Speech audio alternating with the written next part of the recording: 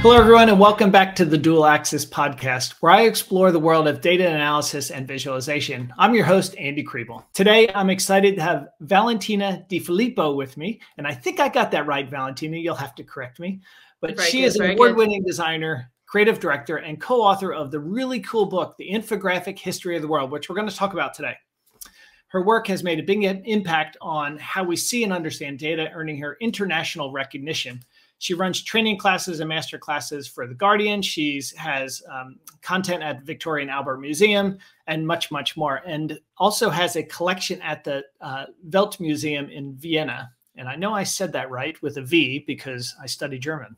So a lot of people probably call it the Welt Museum. Uh, so, yeah. Anyway, uh, so Valentina, thanks for joining me today. Thank you so much for having me, Andy. Thanks. Yeah. I, I, guess before we get into I want to talk about your TED Talk, but before we get to there, I want to understand a bit about how you got into this field in the first place. Yeah, so good, uh, good question. It's been a bit of a journey, to be honest. I didn't really set out to become a data designer or an information designer. I actually come from engineering. Um, I studied industrial design and then I did a master, a postgraduate degree in visual communication. And while I was studying visual communication, I started to get down the rabbit hole of data and information and complexity. So somehow data found me. Um, but then I landed my first job in advertising, and I worked in advertising for a number of years as a digital designer, a director. And then, actually, through my thesis that I developed during my master, an editor at HarperCollins got in touch a few years mm. ago saying, Hey, we would like to have a chat with you because we saw that you are actually pretty good at um, distilling complex information through your thesis. Yeah. And we would like to create a book about history, but through uh, data visualization and infographic storytelling. And I was like, me you know like completely like uh, impo- yeah. imposter syndrome of like yeah. i never yeah. created a book i'm not really specializing in information design um but sure, like sounds super interesting. Let's have a chat. So I got into um, this amazing journey of creating a book with James Ball, that was my co-author. He was a data journalist back then for The Guardian. They used to have the data blog. Um, this was uh, yeah. 2012 was one yeah. of the the first, I suppose, like data data driven journalism um, team. Um, and yeah, we created 100 infographics in quite a short amount of time. We had about six months. We stretched the deadline uh, a few times, uh, but I think uh, all in all, um, less than a year really to yeah. conceive, create, and go to publish, which was like really, really intense in terms of uh, in terms of experience, lots of work. And it was just basically me and James. James was doing mostly the data research, and I was creating uh, all the visuals. Uh, and together we kind of like come up with the ideas of like uh, what do we create, uh, what type of uh, content do we want to cover, what type of questions do we want to answer with our book. Of course, uh, history is such a broad kind of like field, right? Like how do you condense history in a book? So we just picked basically a hundred topics that we were interested about, and uh, yeah, from prehistory to the modern world, we created a hundred infographics. And I suppose that became like a really kind of uh, physical business cards of like, hey, I can do this stuff. I can do data visualization and infographics, and then open up um, this world of yeah, data-driven storytelling. Um, so from printed infographics to other books to digital experience, dashboards, apps. Now everything I do uh, has got this common denominator of data um, and storytelling to it. And of course, my my specialty is the design, the visual yeah. part. How many did you throw away? So you ended up with a hundred in the Good question. Um, yeah. And have you thought about making a book of the stuff you got rid of, the stuff you didn't use? no, it was pretty bad. well, pretty bad for your standards. Even you know what? Actually, after the book came out, there were a few a few infographics that I really could not see, and I was really not happy. But I suppose it helped to have a deadline because even the content that you're not hundred percent happy with, of course, yeah. um, made the cut but you know like creating a book of 100 infographics they're all like super good quality and you're super satisfied with execution is really hard um, but yes, definitely there was a there was a good maybe 30, 40 that went into the bean. And with any iteration, with all the hundred infographics that went into the bean, there were so many iterations just to get to the point where I was like, okay, this is this is okay. Okay. Yeah. Yeah. I, I used to teach a data visualization class. I still I still do occasionally and and I remember I don't remember the visualization, but it was a there's an album on Flickr. I don't know if you remember Flickr. Uh, mm-hmm. you know, the pre Google photo. I guess Google yeah, yeah, yeah. That, but there was a designer who had come up with um, there were about 130 different iterations of a visualization, and mm-hmm. they all mm-hmm. have you know kind of subtle tweaks, and you could see you could see him go from this one thing back to a you know really simplifying it along the way, and then coming more calc- more complicated again, and going back to almost like the original. And I was and when I teach about that, I'm like probably could have done 130 more but it's all you know how do you decide when is it good enough right and i guess that's where deadlines deadlines help as well yeah absolutely yeah absolutely you, otherwise it's kind of like never ending yeah and how does your data how does your engineering background i must said data engineering but how does your engineering fit into this do you think? I think it probably um I think my background in kind of like engineering or maybe technical disciplines kind of like taught me problem solving quite well. Okay. You know, like empathizing with an audience, knowing that there is a problem that we need to solve. Um, but also, it doesn't make me scared of data. So, oftentimes, I suppose, like if you're just trained in uh, visual communication or graphic or branding, um, the technical part can be quite scary. And I suppose, like just uh, comparing myself and my background background being trained in engineering, I always found myself quite driven to briefs that presented some sort of complexity, mm-hmm. not the briefs that were very exciting because they were like, um, you know, branding or visual communication or exciting, um, yeah, visual puzzles, but more like, oh, there is actually quite a lot to communicate here how do you yeah. break it down um, so yeah i suppose like i was always uh, a bit of a bipolar uh, i always had this kind of science and art kind of like fighting mm-hmm. but at the same time data visualization was a sweet spot where i could marry the two yeah what um how often do you get to create something for fun? Like just something that you're not you know you, i'm sure most of your work is probably paid for work um, obviously. Um, but how often do you get to do something that's just for you? Just something you know um, yeah. Yeah, so I suppose like uh, um, self-initiated projects were always a constant in my development, in my journey, and I think like really helped me to cement my experience and also like became a bit known in the field, if you want. Mm-hmm. Um, and I and I think even just the the opportunity with HarperCollins came from a project that I self-initiated was about gender stereotypes in illustrated books for kids, mm-hmm. and then uh, I was able to exhibit my work because I started this investigation of uh, Space Oddity by David Bowie. Um, um, also, like another project was self-initiated about Shining by Kubrick.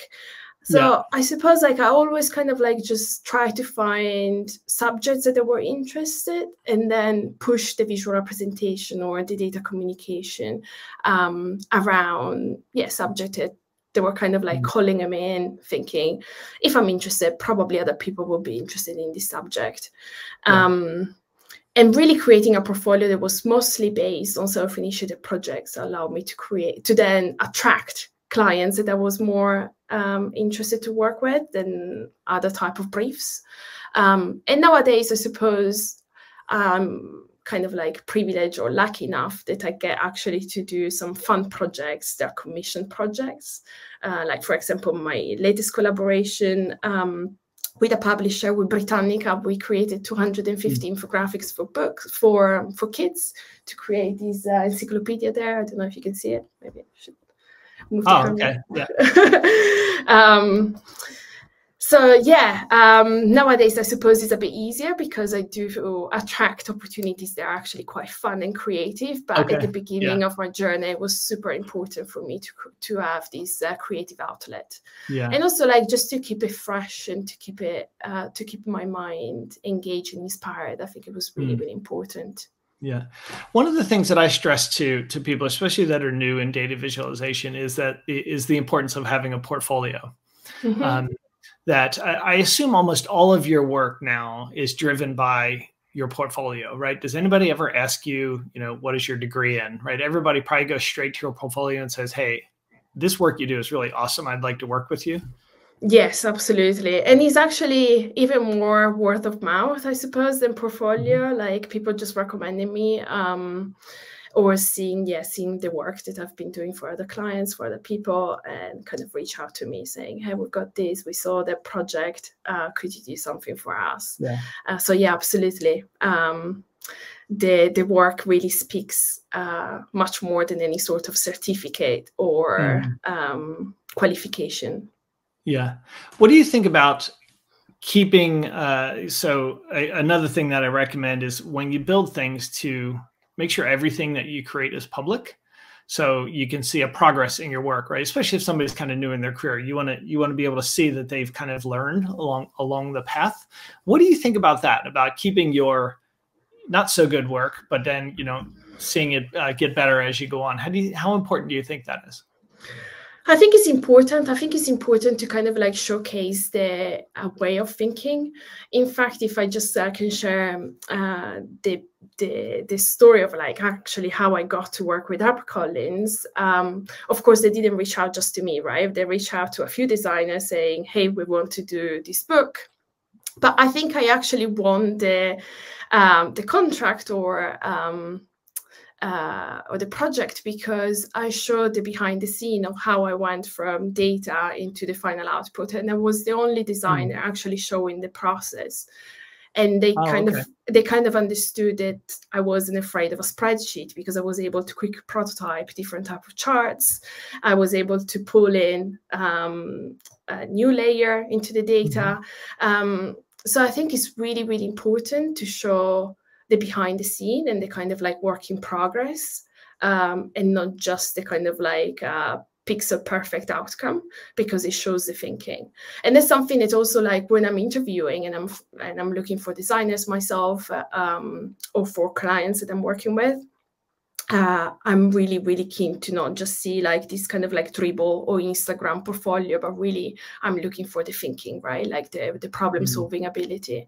I suppose though it's important to kind of like um, filter out the projects that maybe you're not so proud of because also when you're sending out your portfolio for interviews you need to be mindful of how much time does an art director a client or somebody that is interested in yeah. this work gonna have so it's important that the the the quality work is surfaced to the top right at the top um, yeah, yeah of course yeah so yeah. the, the person that is interested in your work can actually be wowed uh, in a few minutes um, and it doesn't take maybe 20 30 minutes to actually get to the to the cherries because otherwise yeah you're not going to have a chance uh, mm. so i mm. suppose like in that sense less is more um, less projects good quality projects but showing the behind the scene the thinking i think that would be my right. uh, my advice yeah yeah and when you start working with stakeholders, so I, I work mostly on the business side of data visualization, yeah. so focusing on dashboards, and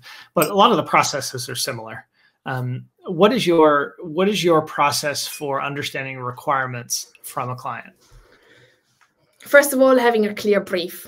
So if the client doesn't have a good brief, um, probably like arranging a discovery meeting to just come up at the end of this discovery meeting with a clear brief, and the brief is. Mm-hmm um, what is the data? What is the data saying? Do you have a clear idea of um, the story that you want to communicate? For example, uh, a client not um, long ago got in touch saying, We've got all of these traffic data of London.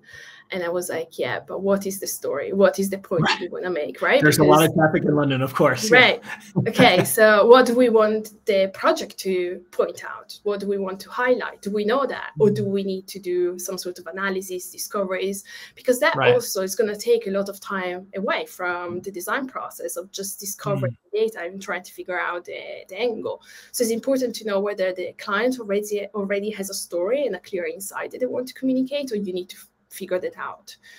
Um, and also like uh, whether they might have already like some sort of like preconceived idea. Uh, for example, um, a client might come to you and say, "We want to create a map.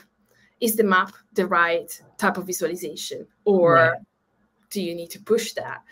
Um, uh, obviously budget, the channel. So all of these kind of like um, considerations that needs mm-hmm. to happen right at the beginning of the project. And from that, yeah. uh, also maybe the impact that the project will have might define the scope mm-hmm. of the the scope of the project and the costs that you might want to put and attach to it. Um, and then from there, you kind of like go into a discovery uh, of exploration, um, the visual art direction, creating mood boards, um, and then you start prototyping, and then you get feedback, um, possibly not just from the client, but also from potential users. You refine the project, and then you publish it and mm. you celebrate. Are you familiar with the Dear Don't forget the celebration. Yeah. Yes, of course. Yes, Giorgia. Yeah, yeah, with Giorgia Lupi and and Steph um, Prosovec. I, I always butcher her name, but because um, uh, a guy that I know through the tableau community, he and I actually did that for a year as well. We started about six months after them and did the same the same themes. We just kind of oh, followed, amazing, and that was that was incredibly difficult because I am terrible at drawing, and you know, um, collecting the data was actually pretty much the easiest part. But then coming up with ideas when you're not using a tool, a tool, to do it like I'm used to was incredibly difficult, but it, it, it, really helped. But I didn't know if you were familiar with that project. I mean, their, their work is just incredibly phenomenal. Beautiful. Yeah. Yeah. Yeah. Big fan, big fan of both of them. Yeah. Yeah. Um, you, you mentioned maps and, you know, is that the right type of visualization? And, and that makes me think about your TED talk. And for me, that's a that's like a bucket list item for me. First off, how cool was it to do a TED talk? Yeah, it was pretty cool. I mean, um, I was uh, terrified to actually speak Italian and to and to step on the red dot. Um, but yeah. yeah. it was great. It was a great experience, of course. I saw it was during COVID because everybody was sitting a seat apart with the masks yes, on. Uh, exactly. And at the end, you, at the end, you did the string exercise. Yeah, that was really neat. Um, yeah. So, but what I, what I really love, what you know, you did such a good job of like capturing my attention at the very start of the talk, and you mm-hmm. start with your story about how you had people around the world draw a map, and what does a map look like to them, and how they're always wherever they live, that's the kind of center of the map. Tell tell everybody about that about that story. It's like super fascinating. People have to watch your TED talk. yeah, so it's a bit of an obsession of mine, but I started in 2009 uh, when I was traveling for the first time in Japan and I came across the world map, not from a Eurocentric point of view, right? So Japan and Asia was in the center, um, and therefore East and West were mm. kind of like um, flipped around and that totally confused me and i was like hang on a minute so do recognize you yeah. actually see the world this way and so i just decided to collect during my trip a few maps and draw maps while i was uh, visiting different parts of japan i met new people old friends and um, yeah, I I collected these hand-drawn maps and I loved it because of course they all share this uh, egocentric approach of representing the world where they yeah. put themselves in the center. So Japan was clearly in the center, and then somehow they had this abstract recollection of the world. They kind of capture also their personal stories, right? Like how much they've traveled, mm. um, mm. whether um, whether they have a good ability to actually translate these uh, these notions into the paper mm-hmm. or not, um, and their experience. And so I decided to keep doing it. Every time I was visiting a new country, I collected these hand-drawn maps and also mm-hmm. allowed me to, you know, uh, connect with people in a different way, which yeah. I thought it was quite neat and cool and uh, fun things to do. And then in 2013, I started to actually um, uh, ran a masterclass for the Guardian, and I thought, mm-hmm. wouldn't it be cool if I could actually um, include this practice at the beginning of the workshop as kind of like an icebreaker for people to familiarize mm-hmm. themselves with sketching and also like telling data stories because the map itself is a data driven story right it tells us where mm-hmm. you're from it tells us also like your ability to um, to simplify kind of like uh, complex notions in this world and also tells us about geography and uh, where you've been and so forth. And I started to actually make people also map data onto the world map, not just um, draw the, the borders. Um, and yeah, that's that's something that I'm really fond of. I've been doing that for 10 years or more oh, as oh, wow. the data visualization icebreaker. Um, and I've got a collection of hand-drawn maps that is about 700. It's, uh, it's fascinating. That's really um, cool, yeah. yeah. yeah. One day I would like to do something about it. As you traveled the world then, did you did you see that consistently as a theme where you know so when you were in japan japan was at the center of the map. Like if you were in south america were they putting south america in the middle of the map? So in a lot of countries in south america you still have a western approach because um, oh because where they're located. Yeah yeah. Yeah and because of you know the the european influence on the culture. Yeah. Um but um, you will still see some sort of like a deformation of the map based on where you're from. So the country where you're from usually takes so much more space than the rest of the world. Yeah, I noticed that Russia was as big as Japan in some of the. yeah, it becomes the dominant kind of uh, um, territory, right? Which makes sense yeah. because it's the territory that you're most familiar with. Yeah. Um, yeah, I've been to Pakistan, and again, like uh, Pakistan and all the areas around there are really well defined.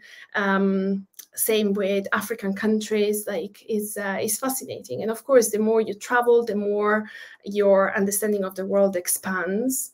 Um, but it was also fascinating. One of the most beautiful and really perfect kind of drawing from um, kind of like a fidelity point of view was a man in Japan that actually never traveled the world, but somehow his education was so um, yeah, somehow I don't know, like he probably studied geography quite well. Right. So his recollection of the world was just incredible. Oh, um, oh, wow. He had all of these islands in uh, in the Pacific, Indonesia, the Philippines, all really like sketched mm. out properly, and it was amazing. Yeah, and and one of the themes throughout your talk is how, and and actually throughout your work as well, is is bringing kind of the people and the emotion into the visualizations and and this and the, the pieces that you create. Um, so uh, you know everything's most of the stuff you do is, is kind of people centric it's about the stories that that people um, that people are trying to tell you or you're trying to bring out in those people. How do you bring out that aspect into kind of a flat essentially a flat piece of paper right? You know it's a drawing that you're creating in the end. What how do you go about communicating some of that? Because I, I, look at some of your visualizations and and you know you study it for a while and it starts to make more sense. Um, but how do you even come up with with the with those ideas and and how to take that information and tell those kind of personal stories and bring that emotion into it you know starting with a simple spreadsheet yeah i think like for me it's really like just trying to communicate um, not just to the rational brain, but to the emotional um, level. So to connect people um, and their brain and their hearts to what you're trying to say, right? So often I feel like in data visualization, we find that our job is complete because we've rendered the data, right? Whether it's a bar chart or uh, whatever tool we're using. And it's like, okay, that's it. But do people actually understand what you're saying with the bar chart? I think that's super important, right? Like who is behind the bar chart? Are we talking about banana sales? Are we talking about mm. uh, the human sacrifice of uh, war? So for me, it's really important to use design to give voice to the data in a way that it can kind of like make you see what is behind those bars, but also make you feel something. Mm. Um, so I'm really trying to kind of like use semiotics and visual language to kind of like connect um, to connect our audience so that we don't mm. just use our visual cortex and the pattern recognition, but we actually get to the heart and somehow we can uh, recall empathy or compassion, whatever that is, so that we can mm. actually uh, get into our next action based on yeah. this map or this visual that we've just seen. Um, and I suppose just linking back to the, the uh, drawing the world map, what is uh, important for me of that is uh, that there are so many different stories that we can map on this world map and there are so many different ways that we can actually interpret the stories because whenever we actually come in to read a data visualization or a chart or an infographic we overlay our own understanding of the world right? So whenever i'm looking at a map i'm overlaying my own understanding of the world my own vision of what the world map should look like um, so the more we can kind of like use visual language and words and annotation to spell out our stories, we are going to be able to orchestrate how other people can interpret this map mm-hmm. because we all going to have different interpretation based on our own agenda, based on our own bias, based on our own mm-hmm. understanding of the world. Mm-hmm. Um, so that's that's uh, just to close back onto yeah, how do we do that and why do the world map um, matters? Yeah. Yeah. Do you consider yourself an artist? Uh, no, I don't think so. I'm a designer. What's the difference? I suppose um, a designer is more like into the problem solving, and usually you do your work to kind of respond to a brief. An artist is probably more um, a creating work that fulfills their soul, um, and then it. What if it's a commissioned piece of art? Um, I suppose like you can also do that, uh, but this the starting point usually for artists is the quest, right? Is an artistic yeah. um, uh, quest that comes from a very, very personal um, point. While I usually work with audiences and with a brief yeah. uh, to connect an audience to uh, yeah mm. specific yeah starting point. I'm trying to get you to to to tell call yourself an artist because your work looks like art, even though oh, thank you. And uh, also maybe maybe it seems like such a loaded word to be, be calling myself yeah. an artist. I don't you think of painting, um, right, and, and that kind of thing. When you think of artists or sculpting and, and things, but that's what you're doing. You're just sculpting data. Right? Maybe. Um, so, yeah, you shouldn't sell yourself short there. And another piece that you talked about was the one that you created for the Museum of London about mm-hmm. um, COVID in in London. Yep. And um, is that still is that still in the museum? So that's actually in um, in the permanent collection, but it's not being exhibited right now. Also, the museum oh, okay. is relocating to Clerkenwell. Um, oh, okay. I was going to go. I'm so, going by there this weekend, so I was going to go by and, and, see if it was there. So no, it's not exhibited, but yeah, it's in the permanent collection at the moment. It's in the archive. Uh, the idea for the piece is actually um, being part of a larger collection. Um, oh, I don't remember the name, but it's about yeah recollecting COVID or um, mm. capturing yeah. COVID, and the, the idea is really for um, the future audience. Let's say in 10, 15 years, um, the Museum of London will probably recall these times. Uh, and they want to narrate what happened with art, with with um, objects, uh, with mm. pieces of communication, as well as uh, um, uh, commission work, like the um, London under the microscope, the project that I did. Um, and so it's not being exhibited right now. The idea is uh, to create some sort of like time capsules for the future, okay. uh, yeah. for future audiences to kind yeah. of like uh, get back into the space and time. Um, mm-hmm. there was madness. Yeah.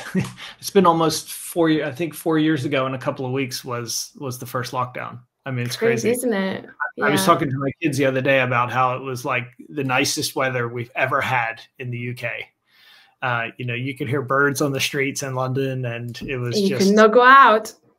yeah, well, you could, you know, you could walk with one other person, or you know, something like that. But it was, uh, I mean, just I just remember how spectacular the weather was, and I wonder if if it's just that we had time to appreciate it more than anything else because you're not focused in you're no longer focused on the hustle and bustle of of everyday life right and um anyway uh, so if you were to, um, let's say that you were asked to do a KPI dashboard, something mm-hmm. that you probably would, I don't know, to me, I would think you would despise it, you know, like it would be beneath you. I, but, I do a lot of KPI dashboards.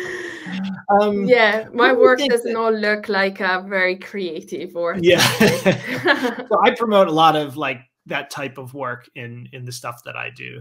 Um, and there's a few things in particular that I focus on, but I'm, I'm curious to know like what is if you think about a business con- context of a visualization and people trying to make decisions, what are the most important aspects of that to you? For me, it's all about hierarchy. Whenever we are presenting information, it's all about deciding what is the focus, what is the key piece of information, what is a supporting piece of information. And to decide what hierarchy information is going to take, you need to understand how the audience is going to use it, right?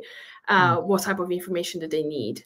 Um, how long do they have to actually look at this dashboard? Is it something that they come to every day? And do they uh, operate in a certain manner? Or do they come here once a month and they just like uh, quickly scan it?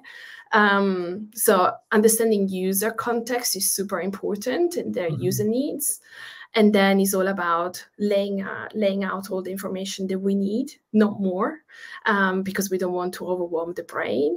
Um, and if there are more information then maybe uh, some use cases uh, might need like how do you actually that uh, maybe with, through interaction, through a second view, through a click, uh, opens up these uh, this complexity. But yeah, it's all about hierarchies so that we clarify the information and we don't over uh, overload the brain.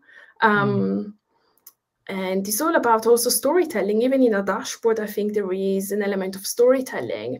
Um, of course, in a dashboard, there is a lot of like non-linear interaction, but there is usually a linear entry point of like, these are the KPIs. This is like the key uh, overview uh, yeah. of the stats that you're interested in.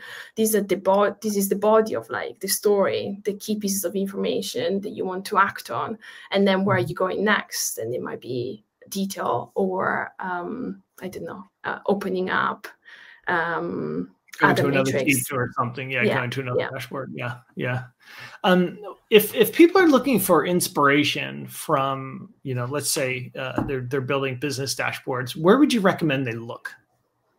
Hmm. I don't know, but usually actually don't find inspiration in data visualization itself, but it's all about in the subject matters or sometimes in popular culture. But I know that often in the world of data visualization, you just want to kind of like uh, stay close to the kind of like abstract way of representing information and not necessarily mm. necessarily bringing to life the story through infographics or, or visuals. So what I'm usually looking at whenever I'm creating something that is very much abstract and chart based is the latest in UI and UX. So I want to create the smoothest possible interaction, the smoothest possible UI. So I'm looking around for products or um, um, yeah interaction and user experiences they are popular like even just like looking at products like uber or airbnb and taking a look at how they open different views or how um, right. the buttons interact how the overlay appears, they can actually bring quite a lot of inspiration into uh, into a digital dashboard that might not be already there or already kind of like built in uh, in the template. Right. Also, right. usually I, whenever I so it, it's almost like think about the things that you use every day. How do you use them and why do they work well for you? And then how mm. can you bring and then apply it to the world of data visualization right. yeah. Oh, that's a really interesting way. I never thought about thinking about it that way. That's really interesting. Yeah and that's, that's when you can actually innovate and create something that is um, is unique or is different. Also, yeah. maybe spaces that do data visualization well, well, but not specifically in a business dashboard or business intelligence tools. Like you know, they use a suspect like um, the usual suspects like the New York Times or the Washington Post. Just taking a look at their data journalism, you usually find really good um, data-driven articles and yeah. Um, and and way of charting data that you know like can kind of like uh, inspire you mm-hmm. is there, have you ever had a project or is there something that that you are really excited about that you've never gotten to work on um, so I'm really excited about actually moving away from visualization and just designing with data um, through different senses. So I've just started to tap into this idea of sonification. Um, but I think I'm actually quite excited to um, yeah explore a different way of communicating data that could be more mm. physical, mm. more tactile. Um, because visualization is quite a narrow way of looking at what we can do when we're communicating data.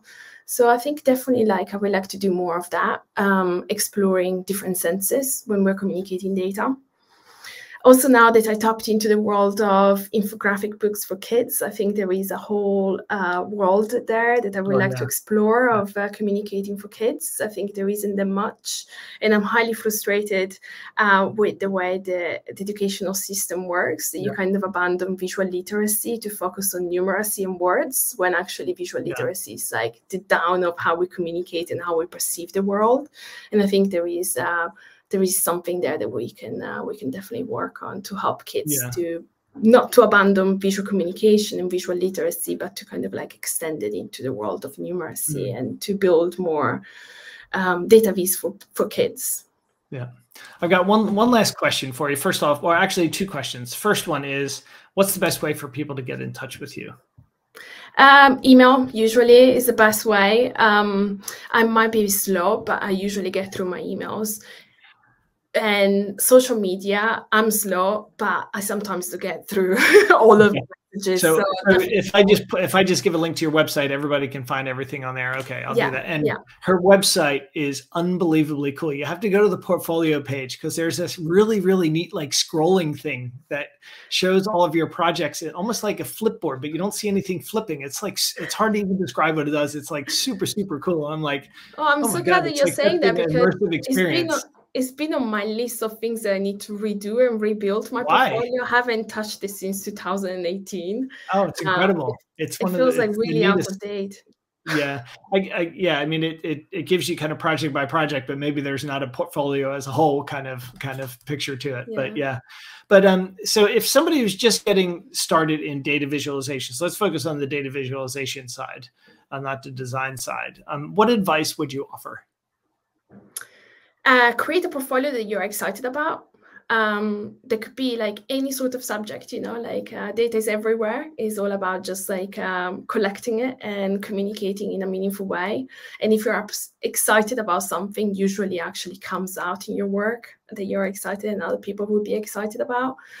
Um, also, you can go down the route of specializing one specific software. I've seen that mm-hmm. being uh, quite helpful for some people. For example, the Tableau community, where you're part of, Andy, is yeah. uh, great. It's super vibrant. There are lots of people doing lots of cool stuff, and uh, it seems very inclusive as well. Like I've heard people like being yeah. part of these chats and social media groups where you can get quite a lot of support for free.